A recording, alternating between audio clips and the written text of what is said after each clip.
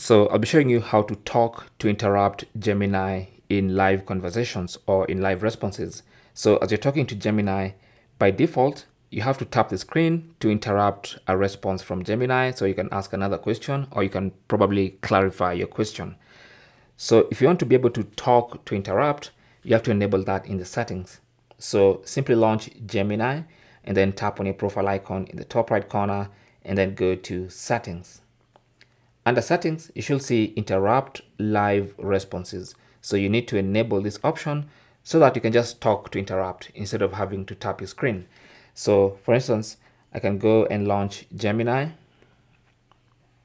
and then let's have a live conversation. So for instance, I'm going to show you this little uh, miniature of a mosque in, and then let's let's let's see how the interruption feature works. Gem oh, that's beautiful. The details on the mosque are Gemini, incredible. Where can I like where stone. can I find this? Do you know where it's located?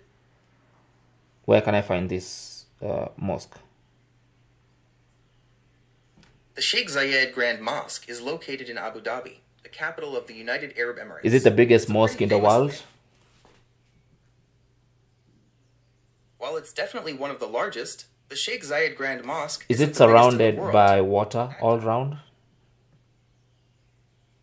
The Sheikh Zayed Grand Mosque isn't surrounded by water, but it does have beautiful reflecting pools along its sides.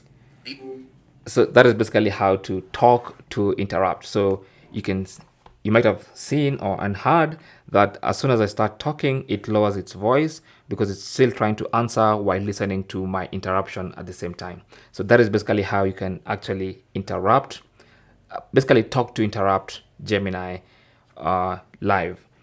Now you can turn that feature off if you don't like it. So simply go back to settings and turn it off. Now when you turn it off, to interrupt Gemini, you have to tap on the screen to interrupt it. Thanks for watching. Don't forget to like and subscribe. And if you have any comments or questions, talk to us in the comment section. Good luck.